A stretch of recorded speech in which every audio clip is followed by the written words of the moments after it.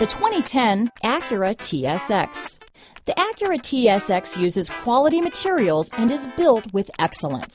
It comes equipped with a spacious interior and an impressive list of standard features.